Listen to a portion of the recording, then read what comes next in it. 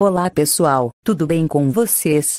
Esse vídeo vai ser curto, porque saiu uma notícia que o set da série original de Ren Stimpy, que foi lançado em 2018, será relançado em 11 de janeiro de 2022 com uma nova capa, mas porém infelizmente sempre tem um caroço atrás do angu, porque de acordo com a página do TV Shows um DVD no Facebook onde foi anunciado a notícia, infelizmente vão insistir em usar os mesmos discos de DVDs lançados em 2004 e 2005, que são cheios de cortes no set relançado da série clássica.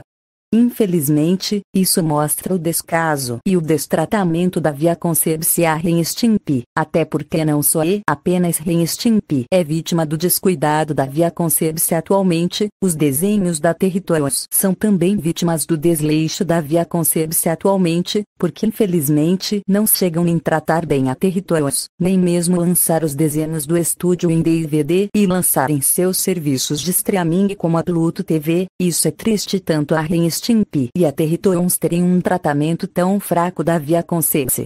Mas porém, um conselho para quem quer comprar esse set da série clássica de Ren Stimpy, não comprem, porque tem os mesmos discos dos três DVDs da série original lançados na década de 2000, onde usaram as masters censuradas das PIC TV, MTV e da Nickelodeon da série clássica. E nesses DVDs, até a Paramount Home Entertainment e a Viacom se não aprenderem a lição, não comprem esse set.